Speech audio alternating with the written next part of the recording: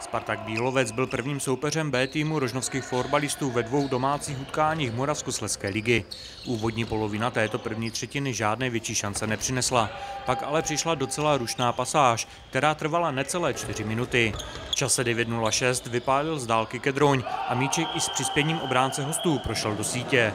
Druhý tým Sršňů se zvedení radoval jen 24 vteřin. Pak dostal nabíhající Vachtarčík parádní přihrávku od Vavrečky a střelou do šibenice srovnal skóre. Rožnov branka Bílovce nijak nerozhodila. Naopak dál se tlačil dopředu a zhruba za dvě a půl minuty šel znovu do vedení. O gól na 2-1 se postaral Štampovský. Srční byli při chuti a jejich převahu potvrdil půl minuty na to Pavel Barabáš. Výstavní střelu přes dva obránce zvýšil náskok domácích na 3-1. Do přestávky další branka nepadla. Ve druhé části přidali srční čtyři góly a na začátku třetí vedli už 8-1.